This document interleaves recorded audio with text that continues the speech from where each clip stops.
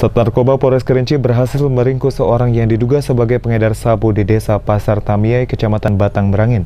Saat diringkus, pelaku sedang pesta barang haram tersebut. Terduga pemakai sekaligus pengedar narkoba jenis sabu yang diamankan Polres Kerinci berinisial P, warga desa Pasar Tamiai, Kecamatan Batang Merangin. Pria berusia 46 tahun ini bekerja sebagai petani.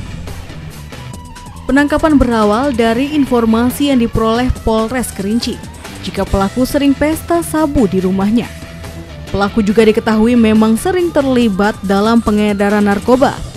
Saat ditangkap di rumahnya, pelaku sedang memegang sabu yang diduga akan dikonsumsi. Untuk mengelabui polisi, pelaku menyimpan barang haram tersebut di dalam kantong plastik yang berisikan kacang. Dari hasil penangkapan, tim Sat Narkoba berhasil mengamankan barang bukti satu buah kantong plastik berisikan kacang, satu unit ponsel, dan enam paket narkoba jenis sabu. Pelaku diketahui telah enam bulan menjadi pemakai sekaligus mengedarkan barang haram tersebut. Kami melakukan penangkapan, kami telah sering mendapat informasi bahwa yang inisial B ini sering melakukan transaksi narkoba berdasarkan informasi tersebut kami tindak lanjuti dengan lidik. Jadi dari hasil lidik kami benar bahwa dia terlibat dalam peredaran narkoba. Langsung kami melakukan penangkapan.